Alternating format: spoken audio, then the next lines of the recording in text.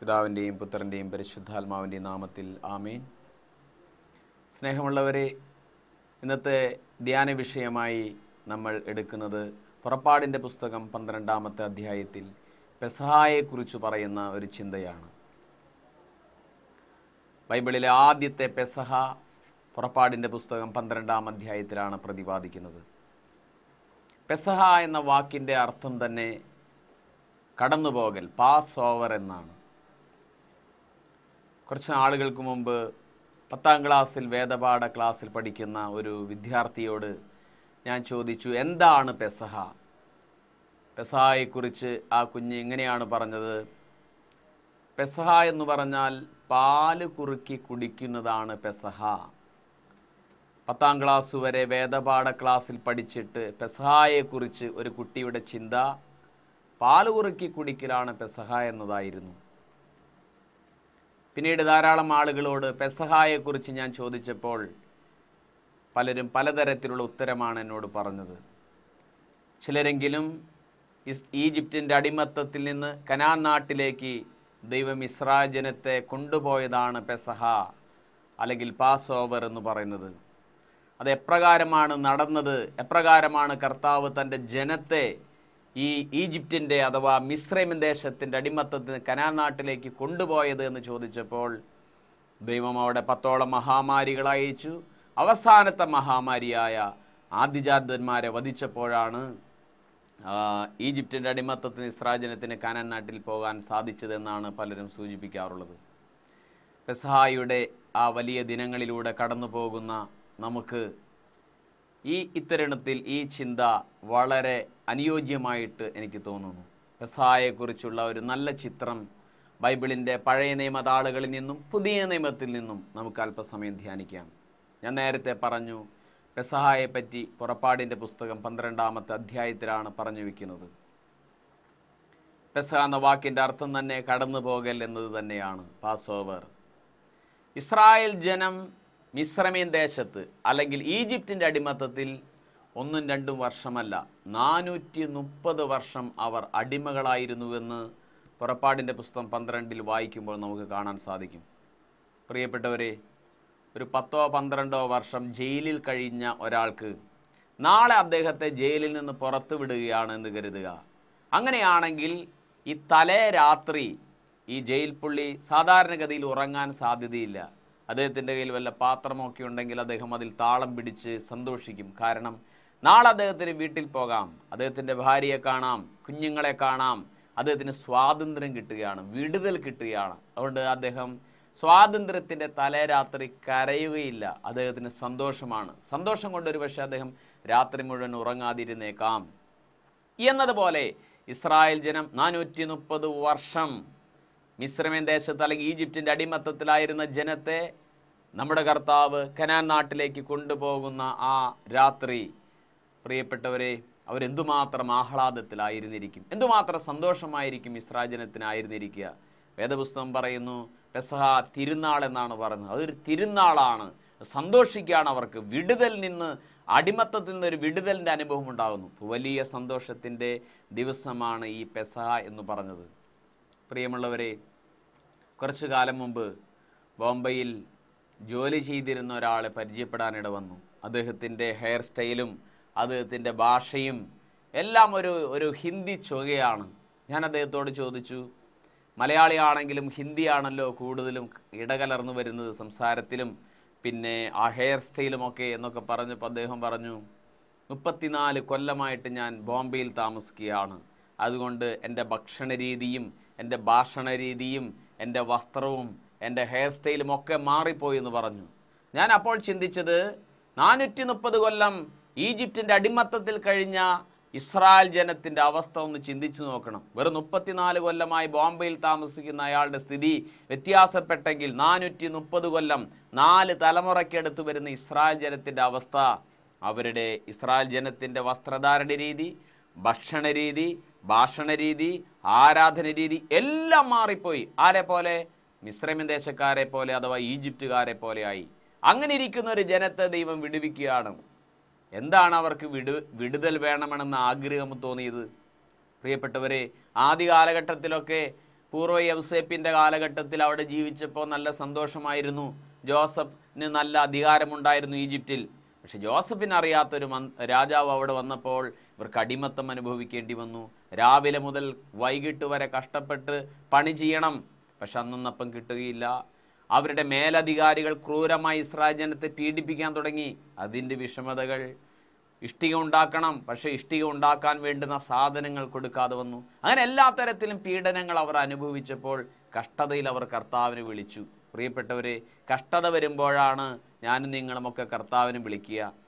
കർത്താവിനെ വിളിച്ചപ്പോൾ കർത്താവ് അവരെ വിമോചിപ്പിക്കാൻ തയ്യാറായി. മോസസിന്റെ നേതൃത്വത്തിൽ അവരെ മോചിപ്പിക്കാൻ തയ്യാറായി. ഫറവോന്റെ അടുക്കൽ മോശ ചെന്ന് തന്റെ ജനത്തെ വിട്ടയക്കുന്ന കാര്യങ്ങളൊക്കെ പറഞ്ഞിട്ടും ഇസ്രായേൽ ജനത്തെ വിട്ടയച്ചില്ല. അങ്ങനെ നൈൽ നദിയിലെ വെള്ളം രക്തമാകുന്നത് മുതൽ അന്ധകാരം വ്യാപിക്കുന്നവരെയുള്ള ഒമ്പതോളം മഹാമാരികൾ അയച്ചിട്ടും ഫറവ വിട്ടില്ല.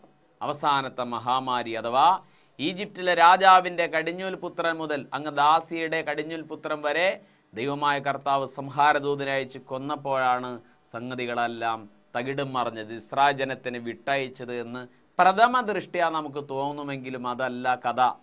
പ്രിയമുള്ളവരെ ഇസ്രാജനത്തോട് കർത്താവ് ഇങ്ങനെ പറഞ്ഞു നിങ്ങൾ എല്ലാവരും വീട്ടിൽ ഒരു ആട്ടിൻകുട്ടി ഉണ്ടാകണം. ആ ആട്ടിൻകുട്ടിക്ക് മൂന്ന് പ്രത്യേകതകൾ ഉണ്ടാകണം. ഒന്നാമത്തെ പ്രത്യേകത ആ ആട്ടിൻകുട്ടി പിന്നെ ഒരു വയസ്സുള്ള ആട്ടിൻകുട്ടി ആയിരിക്കണം രണ്ടാമത്തെ പ്രത്യേകത ആ ആട്ടിൻകുട്ടി ഊനമറ്റ ആടായിരിക്കണം. മൂന്നാമത്തെ പ്രത്യേകത ആ ആട്ടിൻകുട്ടി ഒരു മുട്ടാടായിരിക്കണം.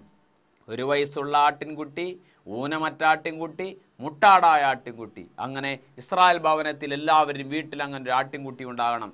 സന്ധ്യാസമയത്ത് ആ ആടിനെ കഴുത്തറുത്ത് കൊല്ലണം. എന്നിട്ടോ അതിന്റെ രക്തം വീടിന്റെ കട്ടിളപ്പടിയുടെ മുകളിലും വശങ്ങളിലും തേക്കണം. വീടിന്റെ കട്ടിളപ്പടിയുടെ മുകളിലും വശങ്ങളിലും. താഴെ തേക്കാൻ പാടില്ല. കാരണം അതിലൂടെയാണ് ഇസ്രാജൻ അങ്ങോട്ടും ഇങ്ങോട്ടും പാസ് ചെയ്യുക. അതുകൊണ്ട് അതിൽ തേക്കാൻ പാടില്ല. എന്നിട്ടോ ആ ഭവനത്തിൽ നിങ്ങൾ കയറിയിരിക്കണം. അന്ന് രാത്രി സംഹാരദൂതൻ കടന്നു വരും. രക്തമില്ലാത്ത ഭവനങ്ങളിലൊക്കെ സംഹാരദൂതൻ കടന്നു വന്ന് പിന്നെ കടിഞ്ഞൂൽ പുത്രന്മാരെ കൊല്ലും. ഇസ്രായേൽ ജനം വളരെ സുരക്ഷിതരാണ് ഇപ്പോൾ. കാരണം എന്താണ്? അവർ രക്തത്തിന്റെ മറവിലാണ് ഇരിക്കുന്നത്. കുഞ്ഞാടിന്റെ രക്തത്തിന്റെ മറവിലിരിക്കുന്നു. അതുകൊണ്ട് സംഹാരദൂതം വന്നപ്പോൾ രക്തം കണ്ടപ്പോൾ മിശ്രാമൻ ദേശക്കാരുടെ ഭവനത്തിൽ കയറുകയും അവിടുത്തെ കടിഞ്ഞുൽ പുത്രന്മാരെ വധിക്കുകയും ചെയ്യുന്ന മനോഹരമായ ചിത്രം നമുക്ക് വേദപുസ്തകത്തിൽ കാണാൻ സാധിക്കും. എന്നെ ഇരുത്തി ചിന്തിപ്പിച്ച ഒരു കാര്യമാണ്. എന്തേ? ദൈവത്തിന്റെ ദൂതന്. പിന്നെ ഈ രക്തം കണ്ടാൽ മാത്രമേ ഇത് ഇസ്രായേൽ ഭവനമാണെന്ന് തിരിച്ചറിയൂ. രക്തമില്ലാത്ത ഭവനങ്ങളെ ഇസ്രായേൽ ഭവനമാണെന്ന് തിരിച്ചറിയാൻ സാധിക്കില്ലേ ഉറപ്പായിട്ടും ദൈവത്തിനും ദൈവത്തിന്റെ ദൂതനും ഏത് ഭവനങ്ങളാണ് ഇസ്രായേലെന്നും ഏത് ഭവനങ്ങളാണ് ഇസ്രായേൽ ഭവനമെന്നും അറിയാം. പക്ഷേ രക്തം ഒരു പ്രതീകമാണ്. പ്രിയപ്പെട്ടവർ എന്തിന്റെ പ്രതീകം? ഇനി കൊല്ലപ്പെടാനിരിക്കുന്ന ക്രിസ്തു യേശുവിന്റെ രക്തത്തിന്റെ നിഴലാണത് പ്രതീകം. ആ പ്രതീകമാണ് ആ കുഞ്ഞാടിന്റെ രക്തം കാണുമ്പോൾ സംഹാരദൂതന് ഭയം അവിടേക്ക് കയറാൻ. കാരണം അത് കൊല്ലപ്പെടാനിരിക്കുന്ന ക്രിസ്തു യേശുവിന്റെ രക്തത്തിന്റെ മുന്നോടിയാണ്. ആ രക്തത്തിന്റെ മറവിൽ ഇസ്രായേൽ ജനം ഇരുന്നത് കാരണമാണ് അവർ രക്ഷിക്കപ്പെട്ട അനുഭവം ഉണ്ടായത് പ്രിയപ്പെട്ടവരെ. അങ്ങനെ ആ രക്ഷ അവർക്ക് കിട്ടിയത് രക്തം നിമിത്തമാണ്. കൊല്ലപ്പെടാനിരിക്കുന്ന ക്രിസ്തുവിന്റെ രക്തത്തിന്റെ മുന്നോടിയാണത്. പ്രിയമുള്ളവരെ പ്രതീകമായ രക്തത്തിന് ഇത്രമാത്രം ശക്തിയാണെങ്കിൽ സാക്ഷാൽ പിന്നെ സാക്ഷാലുള്ള ക്രിസ്തുവിന്റെ രക്തത്തിന് എന്തുമാത്രം ശക്തിയായിരിക്കണമെന്ന് നാം ചിന്തിക്കണം. രക്തമില്ലാത്ത ഭവനങ്ങളിൽ പിന്നെ സംഹാരദൂതൻ കയറി അവിടുത്തെ കടിഞ്ഞൂൽ പുത്രന്മാരെ വധിച്ചു. അവിടെ മിശ്രമേൻ ഭവനങ്ങളിൽ നിന്ന് കരച്ചിലും മുറവിളിയും ഉയരുമ്പോൾ ഇസ്രായേൽ ഭവനിൽ നിന്ന് ഉല്ലാസത്തിന്റെ സന്തോഷത്തിന്റെ ആർപ്പുവിളികൾ ഉയരുന്നു. സത്യത്തിൽ ഇതാണ് പെസഹ.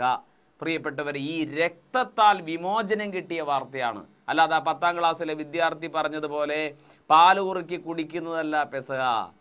പിന്നെ ആദിജാതന്മാരെ വധിച്ചപ്പോഴാണ് വിമോചനം കിട്ടിയതെന്ന് പറഞ്ഞാലും അത് അത്ര കറക്റ്റ് ആവുകയില്ല. കാരണം കുഞ്ഞാടിന്റെ രക്തം ആ രക്തത്താൽ അവരെ സംരക്ഷിതരായപ്പോഴാണ് അവർക്ക് വിമോചനം കിട്ടിയത്. മാത്രമല്ല കർത്താവ് അവരോട് പറഞ്ഞു ഈ കുഞ്ഞാടിനെ എങ്ങനെ ഭക്ഷിക്കണമെന്ന് പറഞ്ഞിരുന്നു. കുഞ്ഞാടിനെ എങ്ങനെയാ ഭക്ഷിക്കുക? കുഞ്ഞാടിനെ ചുട്ട് ഭക്ഷിക്കണം. അല്ലാതെ അതിനെ പച്ചയായി ഭക്ഷിക്കാൻ പാടില്ല വെള്ളത്തിൽ വേവിച്ച് ഭക്ഷിക്കാൻ പാടില്ല അതിനെ ചുട്ട് ഭക്ഷിക്കണം. എങ്ങനെ ഭക്ഷിക്കണം? ചുട്ട്. പിന്നെ ചുട്ട് ഭക്ഷിക്കണം എന്ന് പറഞ്ഞാൽ ചുട്ടിറച്ചി നല്ല രുചിയുള്ളതാണ്. പക്ഷെ പുളിപ്പില്ലാത്ത അപ്പവും കയ്പുള്ള ചീരയും അഥവാ കയ്പുള്ള ഇലകളും കൂട്ടി കഴിക്കണം. പുളിപ്പില്ലാത്ത അപ്പം കയ്പുള്ള ചീര അത് കൂട്ടിയിട്ടാണ് ഈ കുഞ്ഞാടിന്റെ ഇറച്ചി ഭക്ഷിക്കാവൂ. പിന്നെ യഹൂദരുടെ പാരമ്പര്യം പറയുന്നത് ഈ കുഞ്ഞാടിനെ ചുട്ടെടുക്കാൻ വേണ്ടി കുഞ്ഞാടിന്റെ ശരീരത്തിലുണ്ട് ഒരു കമ്പി അങ്ങോട്ട് കയറ്റും. ഒരു കമ്പി ക്രോസ് ആയിട്ടും കയറ്റും എന്ന് പറഞ്ഞ ഒരു കുരിശിന്റെ ആകൃതിയായിട്ട് മാറി. എന്നിട്ട് ആ കമ്പിയുടെ അറ്റത്ത് പിടിച്ചിട്ടാണ് ഈ തീയിൽ കൊണ്ട് അതിനെ ചുടുക. ഇസ്രായേൽ ജനത്തിന് മനസ്സിലായില്ല എന്താ കഥ എന്ന്? എന്നാൽ നമുക്കിന്നറിയാം നമ്മുടെ കർത്താവ് ക്രൂശിലാണ് യാഗമായത്. ആ കുരിശിൽ തന്നെ ഒരു ആ കുരിശാകൃതിയിൽ കമ്പി കൊണ്ട് അങ്ങനെ കുരിശാകൃതിയിൽ കയറ്റിട്ടാണ് ആ കുഞ്ഞാടിനെ ചുട്ടത്. അങ്ങനെ ചുട്ട ഇറച്ചിയും പിന്നെ പുളിപ്പില്ലാത്ത അപ്പവും അവർ കൂട്ടി ആ കുഞ്ഞാടിനെ ഭക്ഷിച്ചു. മാത്രമല്ല കയ്പുള്ള ഇലകളും. അങ്ങനെയാണ് അവർക്ക് വിമോചനമുണ്ടായത്. അവർ കനാൻ നാട്ടിലേക്ക് പോകുന്നത്. തേനും പാലും ഒഴുകുന്ന ഒരു ഒരു അനുഗ്രഹീതമായ ദേശത്തേക്ക് തന്റെ ജനത്തെ കൊണ്ടോ കൊണ്ടുപോയത് തന്റെ കുഞ്ഞാടിന്റെ രക്തത്താൽ മാത്രമാണ് അവർക്ക് വിമോചനം കിട്ടിയത്. വിമോചനം രക്തത്താൽ മാത്രം. ഈ ഫറവോ എന്ന് പറയുന്നത് ഒരു തിന്മയുടെ പ്രതീകമാണ്. സാത്താന്റെ പ്രതീകമാണ്. അവന്റെ രാജ്യം ഈ ലോകത്തിന്റെ മോഹത്തിന്റെ പ്രതീകമാണ്. ആ ശക്തനായ രാജാവിന്റെ അടിമത്തത്തിൽ നിന്ന് തന്റെ ജനത്തിന് വിമോചനം കിട്ടിയത് തന്റെ കുഞ്ഞാടിന്റെ രക്തം കൊണ്ടാണ്. ആ രക്തം ക്രിസ്തു യേശുവിന്റെ രക്തത്തിന്റെ പ്രതീകമാണ്. ഇന്നും നമ്മൾ നമ്മളിൽ പലരും പാപത്തിന്റെ അടിമത്തത്തിലാണ്. ആ സാത്താന്റെ അടിമത്തത്തിൽ ആ രാജ്യത്തിൽ നിന്ന് എങ്ങനെ വിടുതൽ കിട്ടും? വിടുതൽ കിട്ടാൻ ഒന്നേ ഉള്ളൂ പ്രിയപ്പെട്ടവരെ. പെസഹാ കുഞ്ഞാടിന്റെ രക്തം. ആ കുഞ്ഞാടിന്റെ യാഗമരണമാണ് നിന്നെ വിമോചിപ്പിച്ചതെന്ന് വേദപുസ്തകം പറയുന്നു. ഇതാണ് പഴയ നിയമ പെസ പെസഹ. അങ്ങനെയാണ് ഇസ്രായേൽ ജനത്തിന് വിമോചനം കിട്ടിയത്. എന്നാൽ പ്രിയമുള്ളവരെ നമ്മൾ പുതിയ നിയമത്തിലേക്ക് വരുമ്പോൾ പുതിയ നിയമത്തിലെ പെസഹായെക്കുറിച്ചൊന്ന് ചിന്തിക്കണം. പുതിയ നിയമത്തിൽ നമ്മളെ പിന്നെ പിശാജിന്റെ അടിമത്തത്തിൽ നിന്ന് സ്വർഗരാജ്യത്തിലേക്കാണ് പോകുന്നത്. ആ വാർത്ത അപ്പോസ്തലനായ പോലോസ് കുരിന്തർക്ക് എഴുതിയ ഒന്നാം ലേഖനം അഞ്ചാമത്തെ അധ്യായം ആറ് മുതൽ വാക്യത്തിൽ പറയുന്നുണ്ട്. പൗലോസ് അപ്പോസ്തലം പറയുന്നത് ഇങ്ങനെയാണ്. അല്പം പുളിപ്പ് മുഴുവൻ മാവിനെയും പുളിപ്പിക്കുന്നു. അല്പം പുളിപ്പ്. അസാരം പുളിപ്പ് പിണ്ടത്തെ മുഴുവൻ പുളിപ്പിക്കുന്നു എന്ന് പറയുന്നത് തന്നെ അല്പം പുളിപ്പ് മുഴുവൻ മാവിനെയും പുളിപ്പിക്കുന്നു. നിങ്ങൾ പുളിപ്പില്ലാത്തവരായിരിക്കേണ്ടവരാണല്ലോ. അതുകൊണ്ട് പുളിപ്പില്ലാത്തവരായിരിക്കുവാൻ എന്താണ് പുളിപ്പെന്ന് ബൈബിളിൽ ഉദ്ദേശിക്കുന്നത്? വേദപുസ്തകം പറയുന്നു. പിന്നെ കൊരിന്ത എഴുതിയ ഒന്നാം ലേഖനം അഞ്ചിന്റെ ആറ് മുതൽ വാക്യം വായിക്കുമ്പോൾ കാണാം. അശുദ്ധിയും തിന്മയുമാകുന്ന പഴയ പുളിപ്പ് കൊണ്ടല്ല. ആത്മാർത്ഥതയും സത്യവുമാകുന്ന പുളിപ്പില്ലാത്ത അപ്പം കൊണ്ട് നമുക്ക് തിരുനാൾ ആഘോഷിക്കാം. കാരണം നമ്മുടെ പെസഹ കുഞ്ഞാട് അറുക്കപ്പെട്ടല്ലോ. പൗലോസ് പറയുന്നു നമ്മുടെ പെസഹ കുഞ്ഞാട്. അപ്പോൾ പഴയ നിയമത്തിൽ അർപ്പിച്ച അത് അവരുടെ പെസഹ കുഞ്ഞാടാണ്. ഒരു വയസ്സുള്ള ആട് ഊനമറ്റ ആട് മുട്ടാട് അത് അവരുടെ പെസഹ കുഞ്ഞാടാണ്. എന്നാൽ ഇന്ന് നമ്മുടെ കർത്താവ് പറയുന്നു നമ്മുടെ പെസഹ കുഞ്ഞാട്. പൗലോസ്ലി അങ്ങനെയാണ് പറയുന്നത് നമ്മുടെ പെസഹ കുഞ്ഞാട്. ആരാ നമ്മുടെ പെസഹ കുഞ്ഞാട്? യേശു ക്രിസ്തുവാണ് നമ്മുടെ പെസാ കുഞ്ഞാട്. ആ കുഞ്ഞാട് രണ്ടായിരം വർഷങ്ങൾക്ക് മുമ്പ് കൊല്ലപ്പെട്ടു. ഇന്ന് നമുക്ക് മോചനം കിട്ടുന്നത് പഴയ നിയമത്തിലെ പെസയല്ല. പുതിയ നിയമത്തിലെ ക്രിസ്തു യേശുവിന്റെ യാഗമരണം മൂലമാണ് നമുക്ക് വിമോചനം കിട്ടുന്നത്. അതാണ് അപ്പോസ്തലം പറയുന്നത് നമ്മുടെ പെസഹ കുഞ്ഞാട് കൊല്ലപ്പെട്ടു. അതുകൊണ്ട് അശുദ്ധിയും തിന്മയുമാകുന്ന പുളിപ്പില്ലാത്ത അപ്പം കൊണ്ട് പഴയ നിയമത്തിലെ ഇസ്രാജനത്തോട് പറഞ്ഞു ഈ ചുട്ട ഇറച്ചി ഭക്ഷിക്കുമ്പോൾ പുളിപ്പില്ലാത്ത അപ്പം തിന്നണം. പുളിപ്പ് അവരുടെ വീട്ടിൽ നിന്നെല്ലാം നീക്കി. ഏഴ് ദിവസം പുളിപ്പില്ലാത്ത അപ്പത്തിന്റെ തിരുനാളാണ്. ആ കുഞ്ഞാടിനെ കൊല്ലുന്ന ആ രാത്രി മുതൽ പതിനാലാം തീയതി രാത്രി മുതൽ ഇരുപത്തിയൊന്നാം തീയതി രാത്രി വരെ ഏഴ് ദിവസം പുളിപ്പില്ലാത്ത അപ്പം ഭക്ഷിക്കണം. അവർക്ക് പിടികിട്ടിയില്ല എന്താണ് പുളിപ്പില്ലാത്ത അപ്പം എന്ന് പറഞ്ഞാൽ. എന്നാൽ അപ്പോസ്തലായ പൗലോസ് പറയുന്നു പുളിപ്പില്ലാത്ത അപ്പം എന്ന് പറയുന്നത് നിന്റെ ജീവിതത്തിൽ അശുദ്ധിയും തിന്മയുമാകുന്ന പുളിപ്പുണ്ടാകാൻ പാടില്ല. അശുദ്ധിയും തിന്മയുമാണ് പുളിപ്പ്. ഈ പുളിപ്പോടുകൂടെ ഈ പെസാ കുഞ്ഞാടിനെ നിനക്ക് സ്വീകരിക്കാൻ സാധ്യമല്ല പ്രിയമുള്ളവരെ. പെസാ കുഞ്ഞാടിനെ ഈ പ്രാവശ്യം നിനക്ക് സ്വീകരിക്കാൻ നീ ആഗ്രഹിക്കുന്നുണ്ടോ? ആഗ്രഹിക്കുന്നുവെങ്കിൽ പുളിപ്പ് നിന്റെ ജീവിതത്തിൽ നിന്ന് മാറണം. പഴ പലതരത്തിലുള്ള പുളിപ്പുകൾ നമ്മളുടെ ജീവിതത്തിലുണ്ട്. ജടികാസക്തി മദ്യപാനാസക്തി ഈ ലോകചിന്തകൾ വെറുപ്പ് പ്രസംഗത്തിൽ പോലും പറയാൻ പറ്റാത്ത തരത്തിലുള്ള പലതരത്തിലുള്ള മ്ലേച്ഛകൾ. അതാണ് സത്യത്തിൽ പുളിപ്പ്. ചിലപ്പോൾ അല്പം പുളിപ്പായിരിക്കും നിനക്കുള്ളത്. ലോകത്തിൽ നീ വളരെ മാന്യനായി കാണുന്നു. പള്ളിയിൽ പ്രധാനപ്പെട്ട ആളായിരിക്കാം. ലോകപ്രകാരം നല്ല ആളായിരിക്കാം. പക്ഷെ നിന്റെ ജീവിതത്തിൽ പുളിപ്പുണ്ടെന്ന് കർത്താവ് പറയുന്നു. ആ പുളിപ്പ് മാറ്റാതെ എസാ കുഞ്ഞാടിനെ നിനക്ക് സ്വീകരിക്കാൻ സാധിക്കുകയില്ല. അതാണ് അപ്പോസ്തലം പറയുന്നത്. അല്പം പുളിപ്പ് മുഴുവൻ മാവിനെയും പുളിപ്പിക്കും. ഒരു ഗ്ലാസ് പാലെടുക്കൂ. പാൽ സമീകൃത ആഹാരമാണ്. ഒരു തുള്ളി സയനൈഡ് അങ്ങോട്ട് ചേർത്ത് നോക്കൂ. പാലിന്റെ നിറം മാറിയില്ലായിരിക്കാം. പക്ഷെ അത് മാരകമായി വിഷമായി മാറി. അതുപോലെ നിന്റെ ജീവിതത്തിൽ അല്പം പുളിപ്പ് ചെറിയ തെറ്റായിരിക്കാം. അത് നിന്നെ മുഴുവൻ പുളിപ്പിക്കും. അതുകൊണ്ട് അപ്പോസ്തലം പറയുന്നു പുളിപ്പ് മുഴുവൻ മാറ്റണം അശുദ്ധിയും തിന്മയുമാകുന്ന പഴയ പുളിപ്പ് മാറ്റണം. എന്നിട്ടോ ഈ കുഞ്ഞാടായ ക്രിസ്തുവിനെ സ്വീകരിക്കണം. എന്നിട്ട് അപ്പോസ്തലം പറയുന്നു ആത്മാർത്ഥതയും സത്യവുമാകുന്ന പുളിപ്പില്ലാത്ത അപ്പം കൊണ്ട് നമുക്ക് തിരുനാൾ ആഘോഷിക്കാം. തിരുനാളാണ് പ്രിയപ്പെട്ടവരെ. പെസക തിരുനാളാണ്. പഴയ നിയമത്തിലും പറഞ്ഞു അത് തിരുനാളാണ്. പുതിയ നിയമത്തിലും പറയുന്നു അത് ഉല്ലാസമാണ് സന്തോഷമാണ്. പെസവയാഴം കഴിഞ്ഞ് ദുഃഖവെള്ളി വരുമ്പോൾ നമ്മൾ ദുഃഖവെള്ളി എന്നാണ് സത്യത്തിൽ പറയുന്നത്. സത്യത്തിൽ അത് ദുഃഖവെള്ളിയാണോ? അതിനെ ഗുഡ് ഫ്രൈഡേ എന്ന് തന്നെയല്ലേ പറയേണ്ടത്? അത് നല്ല വെള്ളിയാഴ്ചയല്ലേ? ജയിലിൽ കഴിയുന്ന ഒരാളെ നാളെ പുറത്തു വിടുന്നു അയാൾക്ക് ദുഃഖമാണോ സന്തോഷമാണോ? അയാൾക്ക് വിടുതലാണ് ഉണ്ടാകുന്നത് യേശു ക്രിസ്തു ക്രൂശിൽ യാഗമായത് നമ്മുടെ രക്ഷയ്ക്ക് വേണ്ടിയിട്ടാണ്. നമ്മളെ വിടുവിക്കാൻ വേണ്ടിയിട്ടാണ്. ആ വിടുതലിന്റെ ദിവസം സത്യത്തിൽ നമ്മളുടെ ആന്തരിക മനുഷ്യൻ സന്തോഷിക്കണം. എന്റെ കർത്താവ് എനിക്ക് പകരം മരിച്ചത് കാരണമാണ് എനിക്ക് പാപത്തിന്റെ അടിമത്തങ്ങൾ പൊട്ടിച്ചെറിയാൻ സാധിച്ചത്. അല്ലെങ്കിൽ ദൈവം അതിൽ നിന്ന് വിടുവിച്ചു. സ്വാതന്ത്ര്യമാണ് പ്രിയമുള്ളവരെ. സന്തോഷമാണ് പ്രിയമുള്ളവരെ. നമ്മളെ വിടുവിക്കുകയാണ് കർത്താവ്. അതാണ് ശരിയായിട്ടുള്ള പെസഹ എന്ന് പറയുന്നത്. ആർക്കൊക്കെ ഈ പെസഹ സ്വീകരിക്കാം സ്വീകരിക്കാമെന്നാണ് കർത്താവ് പറയുന്നത്? ഈ പെസഹ സ്വീകരിക്കണമെങ്കിൽ പുളിപ്പില്ലാത്ത എല്ലാവർക്കും സ്വീകരിക്കാം. അതുകൊണ്ട് ഈ പെസഹായുടെ ദിവസങ്ങളിലൂടെ ഈ നോമ്പ് കാലഘട്ടത്തിലൂടെ കടന്നു പോകുമ്പോൾ കർത്താവിന്റെ തിരുമുമ്പിൽ നമ്മളൊന്ന് പ്രാർത്ഥിക്കണമേ. കർത്താവിന്റെ മുമ്പിൽ കുറച്ച് സമയം ഒന്ന് ഇരുന്ന് നമ്മുടെ പുളിപ്പുകൾ കണ്ടുപിടിക്കണം. അശുദ്ധിയും തിന്മയുമാകുന്ന പുളിപ്പ്. ഏതെങ്കിലും തരത്തിലുള്ള പുളിപ്പുകൾ ഉണ്ടെങ്കിൽ കർത്താവെ ഈ പുളിപ്പിൽ നിന്ന് മോചനം കിട്ടണമേ. അതിനുവേണ്ടി നമുക്ക് ആഗ്രഹിക്കാം. അതിനുവേണ്ടി നമുക്ക് പ്രാർത്ഥിക്കാം. ഒരു നല്ല പെസഹ. ഈജിപ്തിന്റെ അടിമത്തു നിന്ന് കനാൻ നാട്ടിലേക്ക് ഇസ്രാജനം കടന്നുപോയതുപോലെ കടന്നു പോയതുപോലെ പാപത്തിന്റെ അടിമത്തത്തിൽ നിന്ന് ക്രിസ്തു യേശുവിന്റെ രക്തം മൂലം എനിക്ക് വിടുതൽ തരണമേ. ആ ക്രൂശിൻ ചുവട്ടിൽ നമുക്കിരിക്കാം. എനിക്ക് നിനക്കും വേണ്ടി പെടഞ്ഞു മരിച്ച ക്രിസ്തുവിന്റെ ക്രൂശിൻ ചുവട്ടിലിരുന്ന് എന്റെ രക്തം കൊണ്ട് കഴുകപ്പെടാം. കർത്താവെ എന്നെ വിമോചിപ്പിക്കണമെന്ന് ആഗ്രഹിക്കാം. ഒരു നിമിഷം.